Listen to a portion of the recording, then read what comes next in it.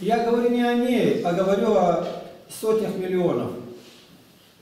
Что мы можем им сказать? И как проверить себя? Почему э, Катя не ходит ни на занятия, ни в церковь? Ты знаешь?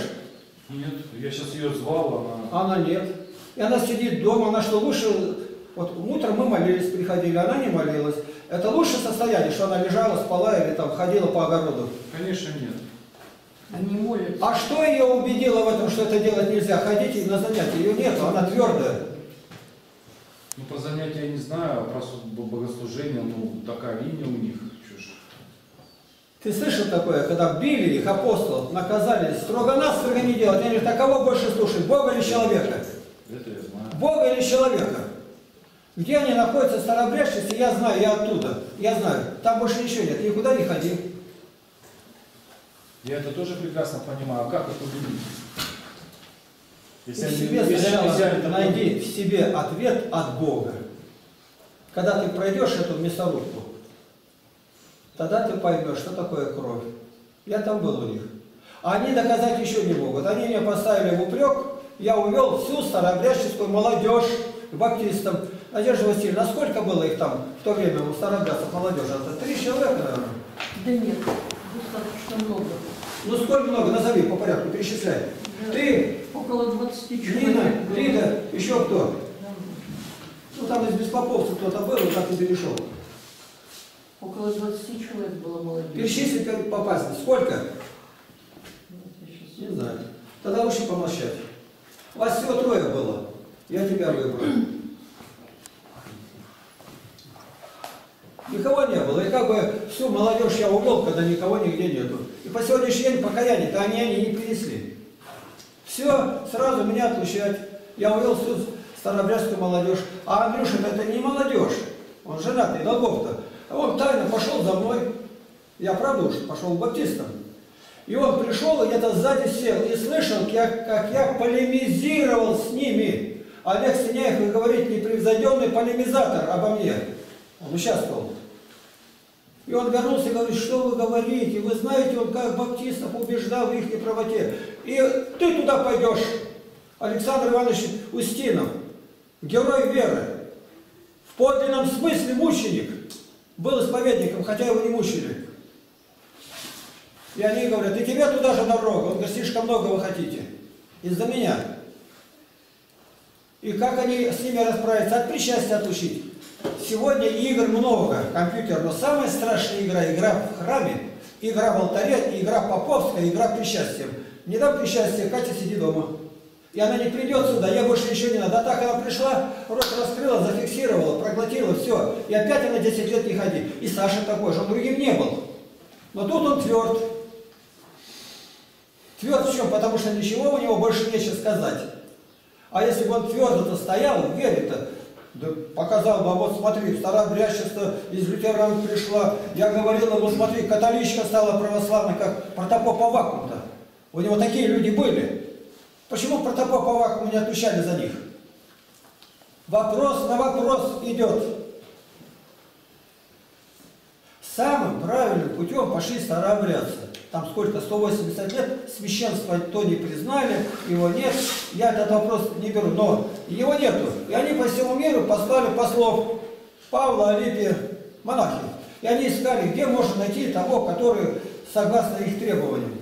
Но дальше его они не пошли, нашли Амвросия, дальше они не сдвинулись ни шага. Они, я понимаю, почему боялись. А Амвросий крещен правильно был или нет, почему вы не пишете?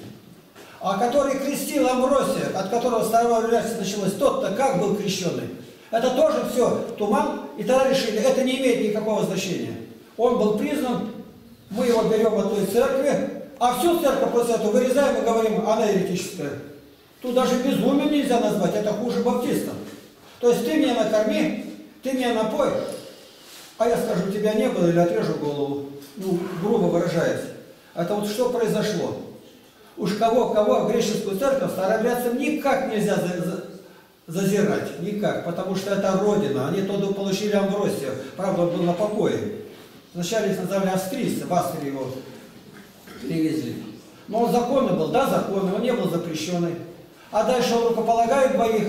Первое нарушение. Первое апостольское правило. В епископа на рукополагает два или три епископа. Ну, бывало, бывало это самое начало. Это начало образования новой ветви, так называемого старообрядчества. Это знали правила? Знали. Почему пошли на это? Почему второго епископа не нашли? Правила по боку, а теперь мы другие будем спрашивать, у тебя морального права нет. Кто знает историю? Я так говоришь? Ну, ну так, именно так. Они не отрицают этого. А давайте что? А мы старые. А с какого времени вы старые? От князя Владимира. До 900 лет прошло. За 900 лет наворочено сколько было? Почему вы не посмотрели, как апостолы были? Так крестились двумя. А Златоуст говорит, одним перстом крестились. Почему вы это не взяли? И вопросов бы не было. Ян Златоуст, а кто пишет? Мельников, Федор Ефимович. Это у них главный историк и идеолог старообрядчества. Но это действительно так. Златоуст говорит, изображаем на себе перстом, не перстами. Почему вы, старообрядцы, не беретесь за это? Или меня это не касается? Или это реформа назовут? Если уже брать, то до конца, не Златоуста только брать, а копнуть еще дальше и упереться в апостолов. Веру во святую, соборную и апостольскую церковь. Вы же читаете лицемеры. Апостольского как огня боитесь. Ты посмотри в апостольские времена, как молились. Одна из молитв, когда просто молились. Другая жития говорит, они поднимали руки, все, жития святой Агапии. В другом месте написано, и крестообразно, распростершись на земле в подобающем месте. Вот так вот ложились. Это жития святых. А вниз животом? А? Животом вниз? Конечно. Животом вниз, лицом и молились. И притом это не одно житие. И это не отрицает никто. Нам не надо компромиссы искать, нужно хотя бы однажды до конца раскрутить это все и сказать, вот это, ну, не столь важно, вот это неправильно у нас, но не влияет на спасение. Ну, то есть, хотя бы совесть свою успокоить, или уступил, никуда не ходил, я все до конца. Но когда крышка гробовая хлопнула, покаяния нету. А мы молиться будем, не обманывая себя. Всем нам надлежит предстать при судилище Христова, чтобы получить соответственно тому, что ты делал в жизни, доброе или худое, соответственно, а не соответственно тому, что за тебя сделали. 2 Коринфянам 5 глава 10 стих. Нам надо это знать? Соответственно. И тогда все вот эти заупокойные, лживые подарки исчезли бы. Хотя заупокойные надо, и мы молимся, я каждый день молюсь, но не полагать в них основания. А почему? Не теряется чувство любви. Наши умершие во Христе живы. А теперь подряд всех отпевают. Я буду говорить о тех, которые знаю. Александр Иванович, а знаешь, ты ему кто относишься? Внук? Родной внук. И у диакона сын что-то заортачился и задавился. Пошел и повесился. Старобрященский-то. Ну и, естественно, диакон тут раздает, молитесь, и материю принес Александру Ивановичу, помолись, и материю вот так положил на плечо.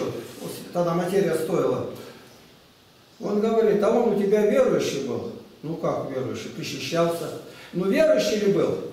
Это мы с ним беседуем. Александр Иванович снял вот так, его на шею повесил, он говорит, ты молись. Это твое чадо. У Александра Ивановича, сына родного, он в спецвойсках был, десантниках.